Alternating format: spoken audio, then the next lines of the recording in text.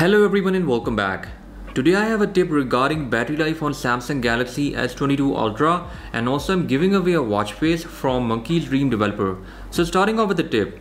If you are seeing a bit bad battery life on your Galaxy S22 Ultra or any latest Samsung smartphone, this may be due to a bug in Google Messages application. This year, Samsung has started to make Google Messages as default messaging app on their smartphones. I think so it's a great messaging slash SMS app and Samsung did a good job in making this app as their default one.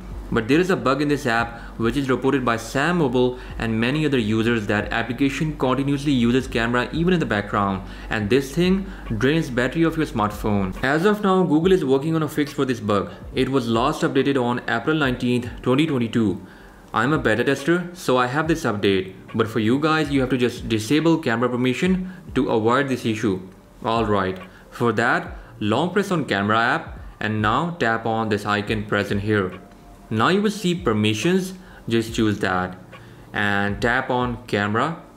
Now choose ask every time or don't allow. So in this way you can avoid this issue if it has affected your Galaxy S22 Ultra. You can try it out on both Samsung's Snapdragon and Exynos models. Okay, now moving on to the watch face. This one is Digital Rose Gold V2 from Monkey's Dream developer and it offers a nice view of time on the right side and rest of the information is present in these dials on the left side.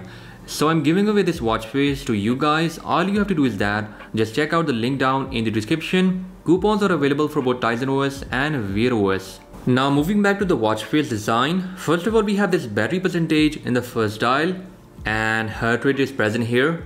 In the last we can see that our step counter is highlighted here.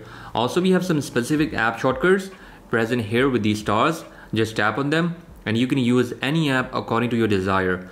Also you can customize this face by changing background color. For that long press on the watch face and tap on customize. And the first thing that you can change here is the background color so that's the only setting we have with this watch face. Moving on to the watch face, always on display mode, it offers a nice view as well. The face is overall dimmed down to conserve battery life. Rest you can also tap on the face and all the colors will be back. So guys, that was about it for today's episode and I'll catch you guys in the next one. Until then, bye bye.